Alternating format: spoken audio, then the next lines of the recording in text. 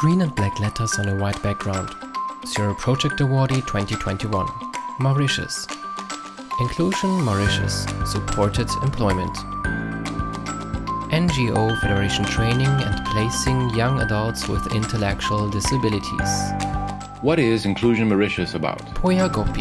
So the project enabled the professional and social integration of persons with intellectual disabilities who are our beneficiaries. Training consisted of theoretical parts, practical parts, and we even did living situation training, where we were taught to get integrated socially and professionally as well.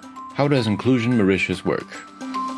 The project is funded by a governmental institution, which is the NSIF, the National Social Inclusion Foundation and we will collaborate with the private sector, engaging private employers to get into the training, give us their expertise, and also employ our youngsters. What is unique and innovative about Inclusion Mauritius? The project consisted of a twin approach solution where it addressed the needs of the candidates and of the employers as well.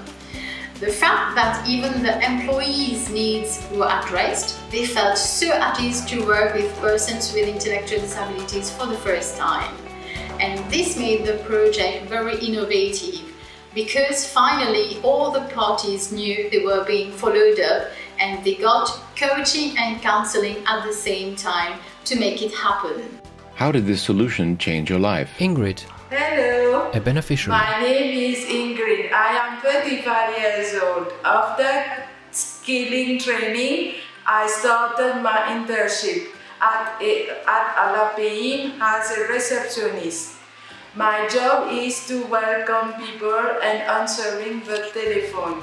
The training had me more confident and independent and has changed my life. Zero Project for a world without barriers.